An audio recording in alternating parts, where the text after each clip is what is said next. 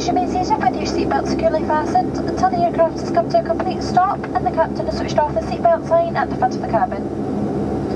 Please take care and open the over overhead lockers as items may have moved during a flight. And remember to check your seat pockets to ensure you have all your personal belongings with you. May I remind you that smoking is not permitted when leaving the aircraft or within the airport building. Our customer service staff meeting this flight will be pleased to help with any further information that you may require. It's been my pleasure to you today. We hope you enjoyed your flight with us and look forward to being of service to you in the near future. I'd like to thank for flying with Flybe and Loganair and wish you a very good evening.